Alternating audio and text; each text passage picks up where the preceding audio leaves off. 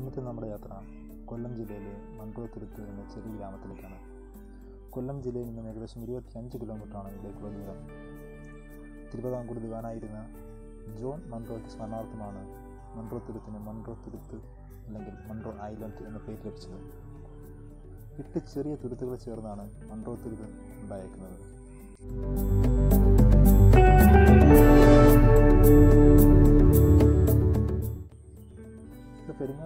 എത്തിച്ചേരാൻ ഇന്നും റോഡുകൾ ലഭ്യമല്ല.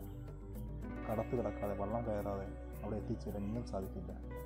ഒരു പാലത്തിന് വേണ്ടി കുറേ കാലമായിട്ട് അവിടുത്തെ ആൾക്കാർ നോക്കിക്കൊണ്ടിരിക്കുകയാണ്. ഇതുവരെ പാലം പോലും എത്താത്തൊരു സ്ഥലം കേരളത്തിലുണ്ട് എന്ന് പറയുമ്പോൾ തന്നെ ഒരു അത്ഭുതമാണ്. ഏകദേശം പതിമൂന്ന് ചതുരശ്ര കിലോമീറ്ററാണ് ഈ ചെറിയ പ്രദേശത്തിന്റെ വിസ്തീർണം ഏകദേശം പതിനായിരത്തിന് താഴെ മാത്രം ആളുകൾ താമസിക്കുന്ന ഒരു കൊച്ചു സുന്ദരമായ പ്രദേശം. വിനോദസഞ്ചാരത്തിന് പ്രസിദ്ധിയാർജിച്ച ഈ സ്ഥലം ഒരു കാലത്ത് തെങ്ങിൻ തോപ്പുകൾ കൊണ്ടും നെൽകൃഷി കൊണ്ടും കയറ് വ്യവസായത്തിനും പേരുകെട്ടതായിരുന്നു.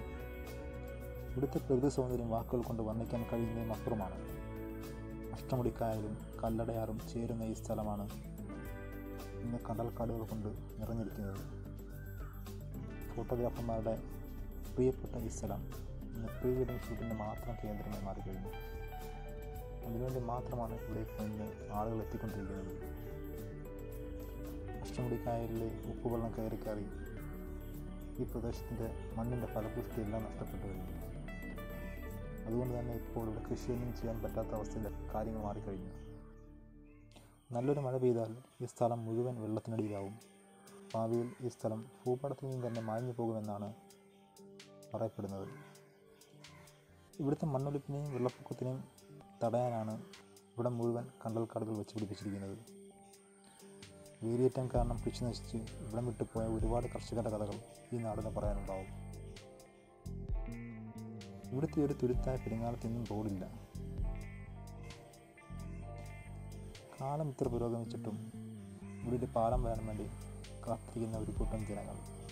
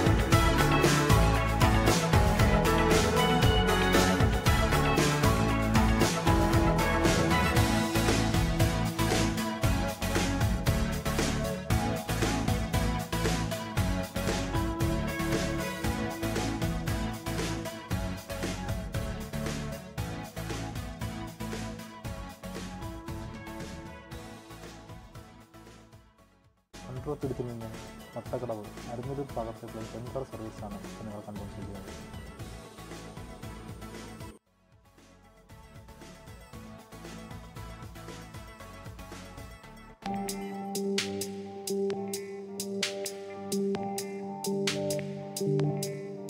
വളരെ മനോഹരമായ ഒരു കാഴ്ച